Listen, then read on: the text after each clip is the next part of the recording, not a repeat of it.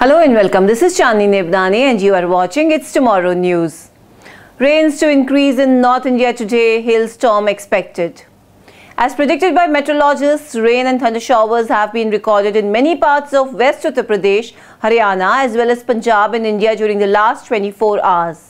Instances of hailstorm have been reported from parts of Haryana. Delhi also saw light to moderate showers during the same span. Meanwhile, North and East Rajasthan recorded isolated rains. All these weather activities can be attributed to the trough that has been extending from Punjab to West Uttar Pradesh across Haryana. The fresh western disturbance over the western Himalayas has induced a cyclonic circulation over Rajasthan and adjoining areas.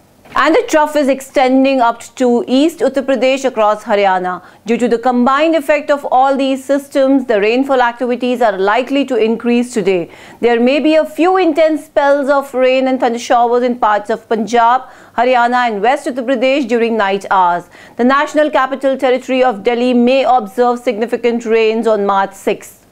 Rain and thunder showers would be accompanied by hailstorm activities in parts of Haryana, West Uttar Pradesh, Delhi, Punjab and Northwest Rajasthan.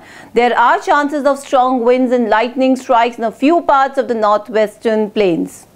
That's all for now. For more news updates, stay tuned with us. It's Tomorrow News, Chandni Nebdani. For more weather updates, do like, share and subscribe our channel.